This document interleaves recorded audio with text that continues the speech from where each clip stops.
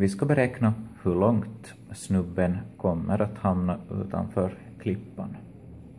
Då behöver vi veta hur länge hålls han i luften eftersom den här sträckan är beroende av eh, tiden gånger hastigheten.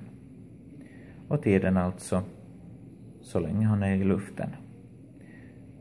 Hastigheten tar slut då han har landat här. Så för att få reda på, på tiden så hittar vi den här i följande formel. Uh, höjden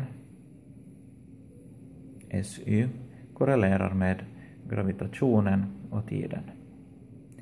Så behöver vi få bort T från den här formeln. Vi behöver få den uh, brutit ut.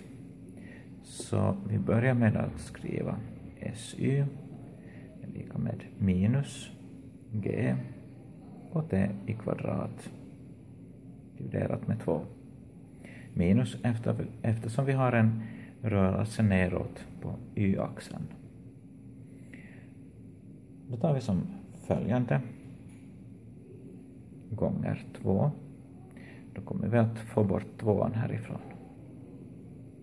Och istället får vi 2 SY är lika med minus G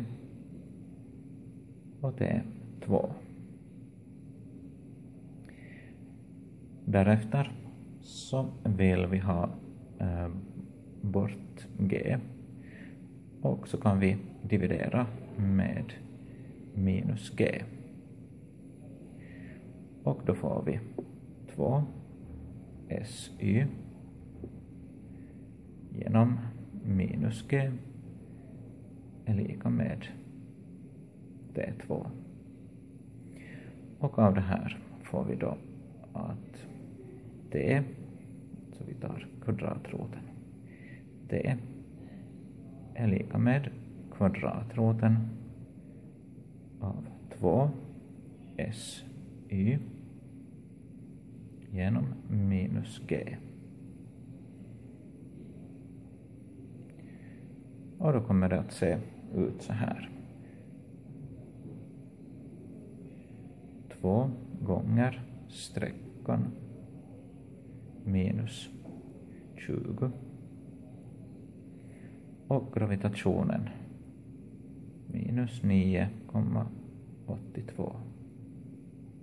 Och då får vi reda på att tiden är ganska exakt 2. Och då vi har s x som ska vara hastigheten, alltså 10 meter i sekunden gånger tiden som är 2,0 så får vi fram att han kommer att landa ungefär 20 meter bort.